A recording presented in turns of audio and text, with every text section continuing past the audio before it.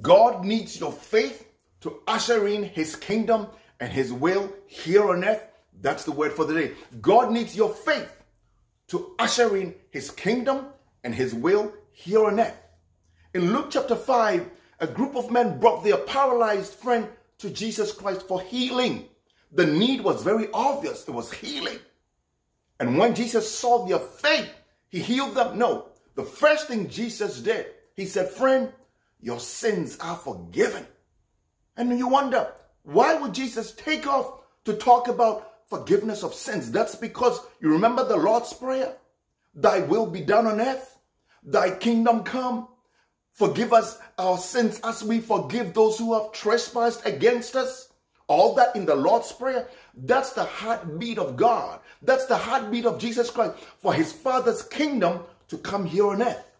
When these men showed up, they showed up in faith, and Jesus Christ took that faith and used it as currency to bring his kingdom here on earth. Continue walking in faith.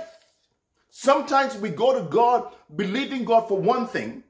We, we, we present our faith to God and God takes it and he does a much bigger thing even before dealing with the issue we brought to God. That's why I say keep walking in faith. That faith will usher in God's kingdom here on earth beyond your need and it will bring God's will on earth. That is God's ultimate plan that his kingdom will come on earth and his will will be done. That will not happen unless we extend faith to God. That's the word for the day. Think about this one. Listen to it again. You'll get it. I know you will.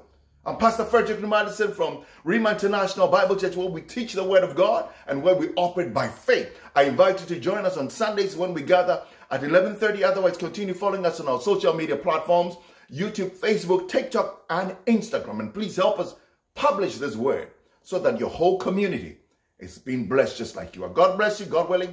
I'll be back again with another word for the day.